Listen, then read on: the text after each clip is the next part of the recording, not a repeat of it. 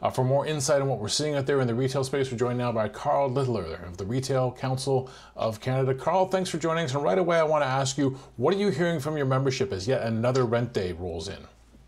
Well, obviously, a significant amount of uh, concern as uh, yet another one kicks over. Um, obviously, in some cases, we've had members who are starting to reopen, uh, reopening more broadly in most parts of the country. Obviously, there are still some exceptions. Um, but of course, that doesn't affect uh, mall tenants who are still essentially shuttered in, in much of the country. And, and even with some reopening, of course, you, you need consumer confidence, both in their own economic circumstance and in the public health situation. So it's going to take a while before the income flow is such that people will be able to pay their rent on a timely basis. Now, of course, Ottawa has put a program in place that has been widely criticized because if you're going to get rent relief as a retailer, as a tenant, it's all contingent on the landlord agreeing. Uh, what are you hearing from your membership on that as well? I know a lot of people worried that their landlord just wouldn't take part.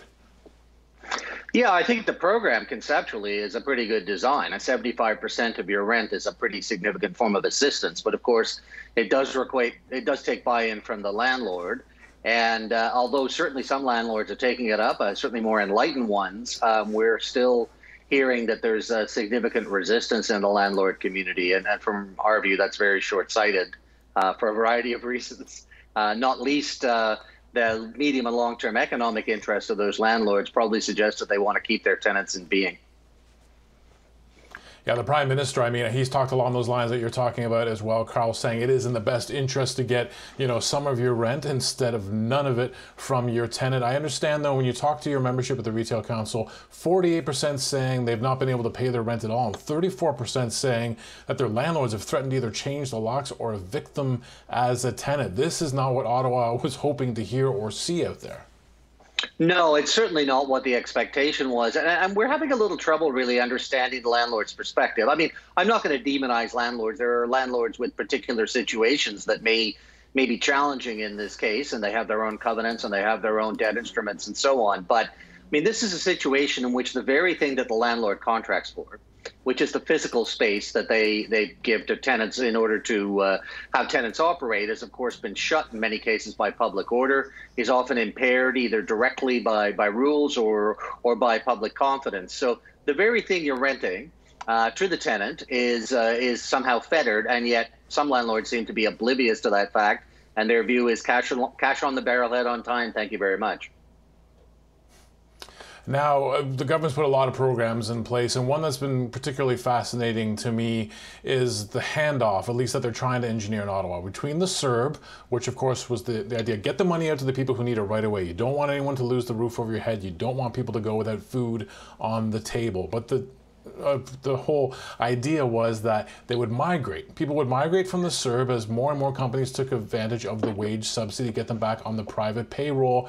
They have cut the uh, the budget for the wage subsidy uh, by tens of billions of dollars because it wasn't being taken up and putting money back into the CERB. Is there a real problem here in terms of getting the economy going? If we can't get these people back to work? Yeah, look, I mean, there's two parts to the CERB really. There's CERB for people who really need it, and you know that's for people who are obviously on on uh, you know suffered from COVID nineteen or caregivers. Obviously, there's a significant situation with schools and daycare and, and so forth not being in session, and so CERB was envisaged for that. But you know, obviously, CERB was also um, intended to cover people for who had lost their jobs uh, in consequence or had deep reductions in hours in consequence of uh, of COVID nineteen. But it seems maybe that it's become a bit more than that. And obviously, we don't want CERB to be a safe harbor for people for whom there is work available who don't otherwise have any have any particular reason to refuse that work. Um, it's going to take a while, frankly, to do that transition. I will say this the wage subsidy is the crown jewel of the federal programs. Obviously, it's the most expensive program, or was envisaged to be. Um, and they're thinking about the second wave of that now. We think it's pretty critical that that be a recovery focused vehicle.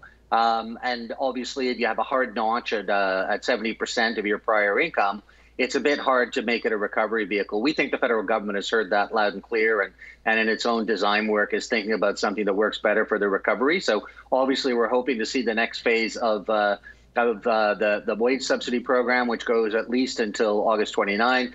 Uh, we would like to hear how uh, the federal government is going to work through the CERB uh, issue. I, I, presume that at some point, if there are offers of jobs available and people decline them, and they don't have one of the sort of core reasons for for not uh, showing up for work, then the federal government's going to make some moves to actually start to wean people off CERB. That's sort of getting into the employment insurance kind of scheme that we were used to before. We're only about a minute left, but I did want to ask you in terms of retailers reopening. Obviously, they worry about their personal safety. Is there enough personal protective equipment out there for retailers to outfit their stores to protect themselves? Well, look, I, we've had a lot of, you know, experience in this in grocery and pharmacy, and, and in some parts of the country, obviously much broader uh, sort of essential retail. So there's some fairly rationalized supply chains at this point. I think for a new, somebody coming back on stream, opening up bricks and mortar for the first time, a lot of it is really about doing the sourcing of that and and figuring that out is an issue. So I think there's adequate supply of most uh, items that are available. It's more a matter of making sure that as you're a retailer that's reopening, that you've got a bead on on the right sources, um, and that you know obviously you can keep up and that you understand the protocols because people are not obviously used to uh, this environment if they've been shuttered for two months or more. Karl, thanks for taking the time to speak with us today. Thanks for your insight. Very welcome. Thanks. Karl Littler of the Retail Council of Canada. Now,